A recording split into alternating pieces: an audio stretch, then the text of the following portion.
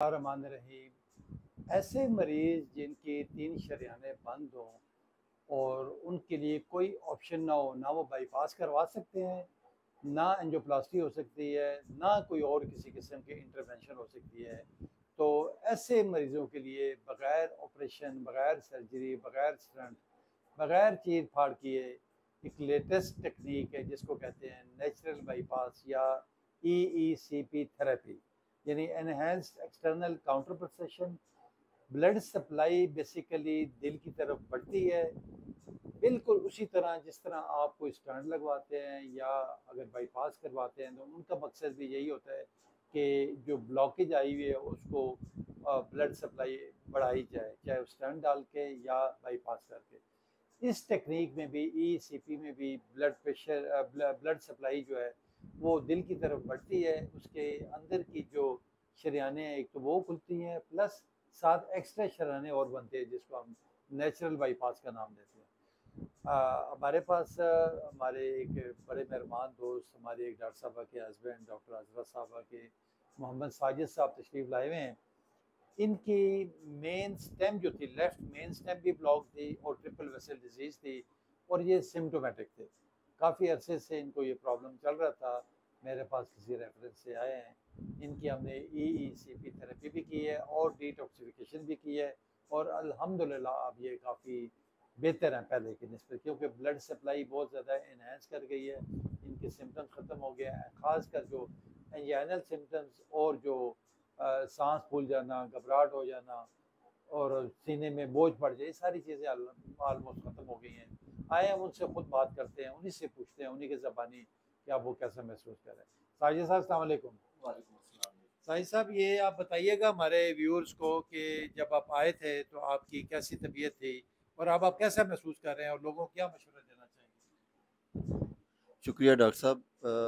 یہاں آنے سے پہلے مجھے چلتے ہوئے پرابلم ہوتی تھی۔ سینے میں برننگ وغیرہ ہوتی تھی ریٹروسٹر میں برننگ تھی وہ۔ اور کمر کے پیچھے بھی ہوتی تھی، میرے لیے چلنا انتہائی مشکل تھا۔ تو پھر مجھے لے کر گئے ہارٹ والے ہاسپٹل میں، وہاں پہ میری ای ٹی ٹی ہوئی، ایکو ہوئی، اور پھر اس کے بعد ڈاکٹروں نے ریکمینڈ کیا جی کہ آپ کی سی ٹی این جی او بھی ہونی چاہیے۔ اور وہ بھی کروائی تو اس میں میرے مین آرٹریز جو تھیں وہ بند آ رہی تھیں۔ کیونکہ اس سے پہلے مجھے، تیئیس سال پہلے بھی ہارٹ اٹیک ہو چکا تھا۔ تو اسی طرح لائف میری جو تھی وہ گزر رہی تھی، لیکن اب تھوڑا میں رک گیا تھا۔ اسپیشلی مجھے کہیں کسی کے ساتھی کے ساتھ چلنا ہو، کہیں جانا ہو تو میرے لیے مسئلہ بن جاتا تھا۔ الحمدللہ آپ کے پاس آیا ہوں میں۔ آپ نے یہ ٹریٹمنٹ جو ہے ڈبل ای سی پی والا وہ کروایا ڈیٹاکسیفیکیشن والی ڈرپیں بھی آپ نے مجھے لگائی ہیں۔ اللہ کے فضل و کرم سے اب میں بہتر ہو گیا ہوں، اب میں چلنا شروع کر دیا میں نے۔ اور مجھے جو پرابلم تھی وہ کافی حد تک وہ بھی کلیئر ہو گئی ہے، بہتر ہو گیا ہوں میں۔ اور یہ اللہ کے فضل و کرم سے اور آپ کی محنت کا یہ نتیجہ ہے۔ چلے بہت شکریہ شاہد صاحب، بہت شکریہ۔ وہ کہتے ہیں نا کہ the option for patient with no option یعنی جس مریض کے پاس کوئی آپشن نہیں بنتی، چاہے ان کا بائی پاس نہیں ہو سکتا یا وہ خود ولنگ نہیں ہے، نہیں کروانا چاہتا، کسی بھی وجہ سے۔ تو ایسے مریضوں کو کم از کم ایک بار ای سی پی ضرور کروانی چاہیے۔